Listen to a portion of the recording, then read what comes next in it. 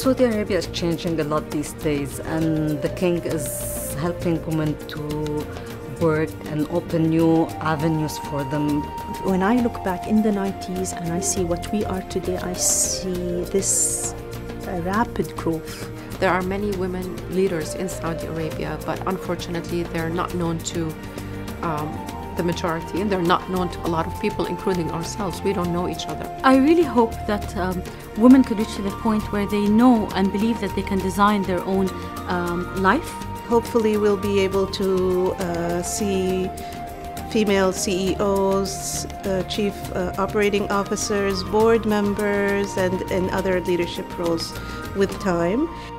I love the fact that GE is focusing on women development in particular.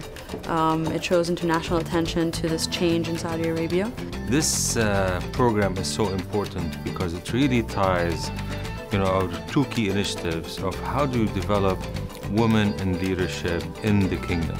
We've decided to create this program, the Saudi Women Leadership Program specifically, to try to help create the aspirational role models in Saudi Arabia. We share with them some of the leadership skills that we develop internally within GE. Hopefully, they can take it and help drive more leadership in the kingdom. And one of the major things that women do not do well in my parts of the world, which is networking, which is the ABC for any leadership development.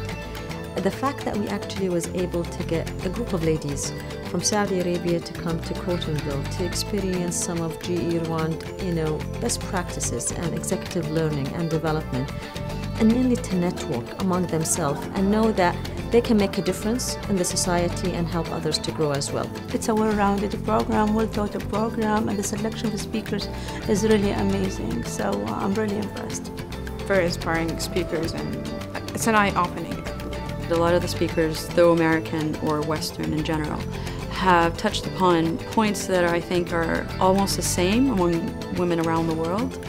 And that makes it feel so much closer to our hearts and makes it feel so much more doable.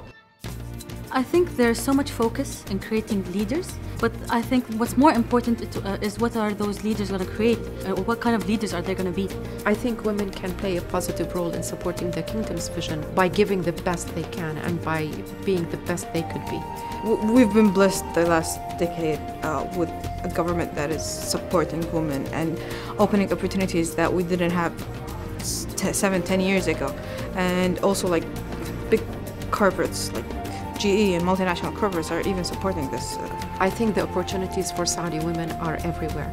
Uh, the employment of women in, in its shape, in its current shape as critical mass has just started in the country. The obstacles are all in our head. Once you just take that off your head, you're, you're good to go. Once you open the door for women, they'll be able to prove themselves with time.